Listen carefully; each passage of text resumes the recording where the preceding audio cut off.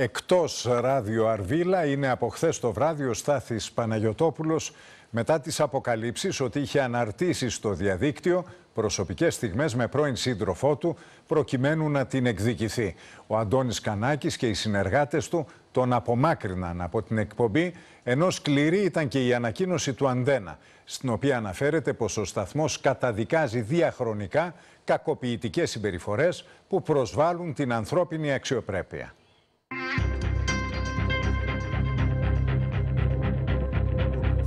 Με συνοπτικές διαδικασίες, ο Στάθης Παναγιοτόπουλος αποτελεί πλέον παρελθόν στο τηλεοπτικό πεδίο. Ο Αντώνης Κανάκης και όλο το επιτελείο της εκπομπής πήραν την απόφαση της απομάκρυνσής του μετά τις καταγγελίες πρώην συντρόφου του, αλλά και την παραδοχή του ιδίου ότι διέρευσε στο διαδικτύο βίντεο αλλά και εκατοντάδες φωτογραφίες με ιδιαίτερα προσωπικές τους στιγμές. Είναι μια από τις πιο δύσκολες, ε, δυσάρεστες, απίστευτες και παράξενες ημέρες που έχουμε βιώσει. Είμαστε πάρα πολύ στεναχωρημένοι σήμερα. Εμφανίστηκε ε, στα social media ένα δημοσίευμα σύμφωνα με το οποίο ε, ο Στάις ο Παναγιωτόπουλος έκανε κάτι το οποίο είναι πράγματα τα οποία σαν άνθρωποι, σαν εκπομπή τα, τα μισούμε, τα πολεμάμε με τον τρόπο μας εδώ και πάρα πολλά χρόνια όπως ίσως γνωρίζετε. Αποφάσισε να δημοσιοποιήσει ε, πορνογραφικό υλικό του ίδιου και της κοπέλας ε, αυτής. Η πρώτη αντίδραση ήταν ότι δεν είναι δυνατόν να συμβαίνει κάτι τέτοιο. Δεν είναι δυνατόν να συμβαίνει γιατί πρώτον θα το γνωρίζαμε, δεύτερον ε, δεν είναι δυνατόν να έχει εμπλέκεται σε κάτι τόσο σοβαρό και να μην μπήκε στη διαδικασία να μας το πει ποτέ. Και επίσης δεν μπορεί να συμβαίνει και κάτι τόσο σοβαρό τόσα χρόνια από το 18 περίπου και να μην ε, έχει βγει κάτι στο φως της δημοσιότητας και να βγαίνει τώρα. Ο Στάι ο Παναγιώτοπουλο δεν είναι εδώ και δεν θα είναι από εδώ και πέρα μαζί μας στο Ράδιο Αρβίλα. Όποτε και να το μαθαίναμε. Σήμερα το μάθαμε. Εκφέ πριν δύο χρόνια το ίδιο θα κάναμε. Πρέπει να το ξέρετε. Ο Αντένα διαχρονικά καταδίκαζε και πάντοτε θα καταδικάζει απερίφραστα κακοποιητικές συμπεριφορές, πράξεις και πρακτικές που προσβάλλουν την αξιοπρέπεια του ανθρώπου και την ιδιωτικότητα.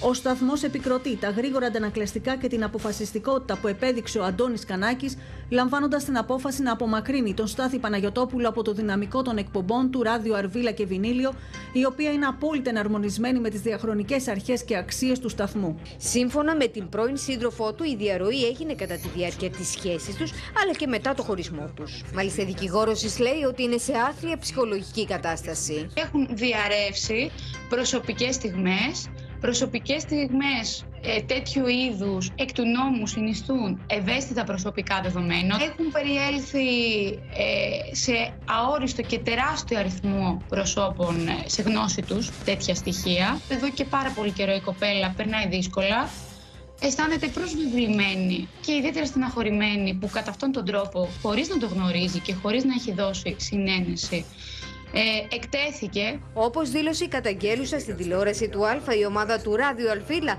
δεν γνώριζε απολύτως τίποτα. Από τις πρώτες μας συνευρέσεις ήθελα να βιτιοσκοπούμε.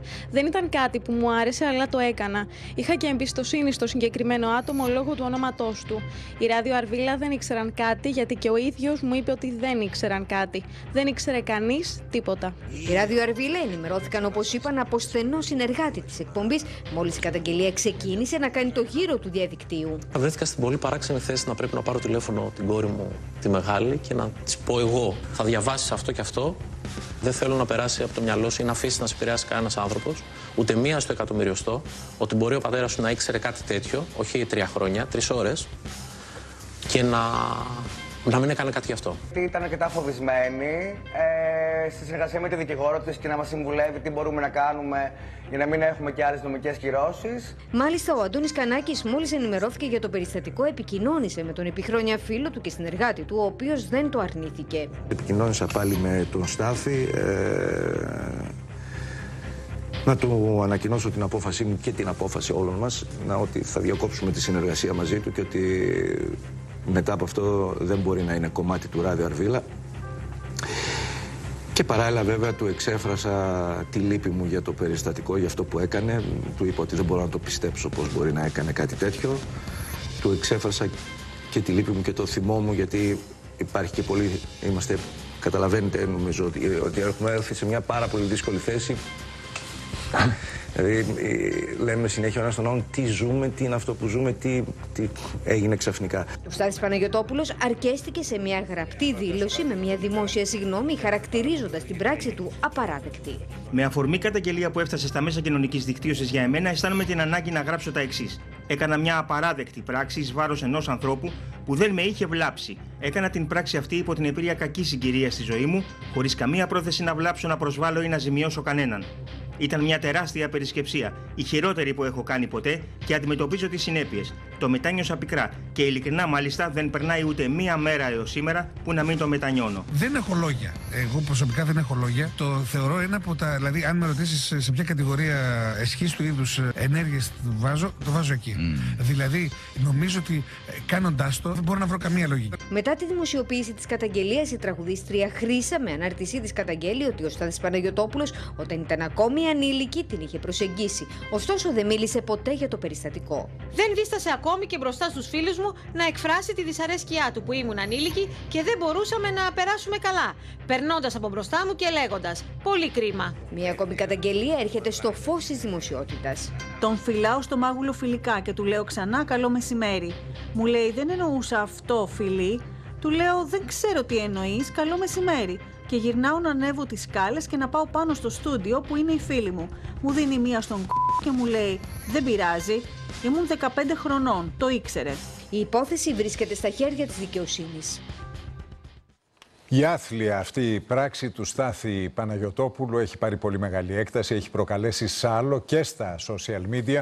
Πάμε να συζητήσουμε το θέμα αυτό με την Κάτια Μακρύ και με τον Γιάννη Μιχελάκη. Κάτια.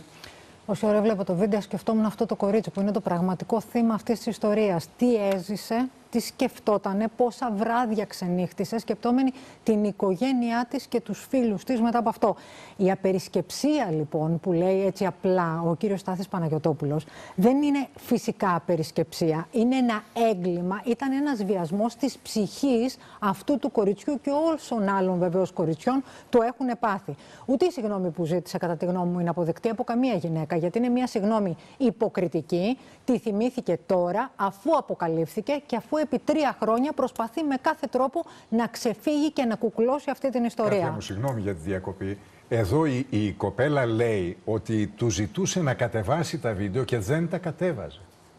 Και μιλάμε για έναν άντρα. Λέω προς επίρρωση ε, ε, α- αυτού που λες ότι είναι υποκριτική Φυσικά. η συγγνώμη. Ε, εννοείται. Είναι πολύ λίγη και είναι πολύ αργά και είναι και πολύ υποκριτική. Μιλάμε για έναν άντρα 55 ετών, δεν μιλάμε για ένα ανήλικο αμούστικα αγόρι που θέλει νουθεσία. Ήξερε Δεν πάρα είναι πολύ 55, καλά. είναι 58. Ήταν- τότε ήταν Ναι, 55 ναι. που έγινε αυτό. Άρα προφανώς εκμεταλλευόταν την αναγνωρισιμότητά του. Το καταλάβαμε όλοι αυτό. Η απογοήτευση λοιπόν είναι πάρα πάρα πολύ μεγάλη γιατί αυτός ο άνθρωπος έμπαινε στα σπίτια μας σχεδόν κάθε βράδυ. Και τώρα στη συζήτηση ήξερε ο Κανάκης, δεν ήξερε ο Κανάκης και οι συνεργάτες του. Εγώ είδα ένα Κιούση να κλαίει και σχεδόν και να απολογείται στις κόρες του δημόσια. Είδα ένα Κανάκη πάρα πολύ θλιμμένο και σοκαρισμένο και πραγματικά δεν το πιστεύω ότι ήξεραν. Άλλωστε αυτοί οι άνθρωποι τις τόσο σκοτεινές και άρρωστες πτυχές τους δεν νομίζω ότι τις μοιράζονται ούτε με την οικογένεια ούτε με τους φίλους και συνεργάτες τους. Νομίζω ότι θα τον είχαν πετάξει εκτός ε, εκπομπής και εκτός παρέας το πρώτο λεπτό που θα το μάθαιναν. σίγουρη. Γιάννη Και Μιχελάκη. για να πιαστώ από το τελευταίο που ανέφερε η Κάτια είναι ότι σε αυτή την άθλια και αποτρόπαια ιστορία υπάρχει και μια άλλη πλευρά, αυτή της σκοτεινής πλευράς των social media όπου υπάρχει, υπήρξε, σε- έγινε, είναι σε εξέλιξη μια επιχείρηση ανθρωποφαγίας ε, εναντίον αυτών των ανθρώπων που πρώτοι βγήκαν και κατήγγυλαν ε, αυτή την υπόθεση. Μιλάω για τον Αντώνη τον Κανάκη και τους ε, συνεργάτες του. Και τα τρόλ Νίκο συνέχιζαν την ανθρωποφαγία ακόμα παρά το γεγονός ότι βγήκε, είδαμε την αντίδρασή του, η οποία ε, δεν ήταν φτιαχτή.